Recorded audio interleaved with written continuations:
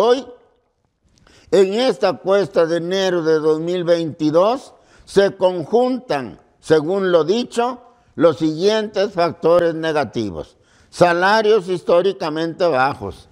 pérdida de su valor adquisitivo ocasionado por la inflación más alta en 20 años, decremento de los salarios producto de una mezquina revisión contractual, incremento del desempleo causado por la debilidad del mercado laboral y déficit de puestos de trabajo debido al incremento natural de la población en edad de trabajar.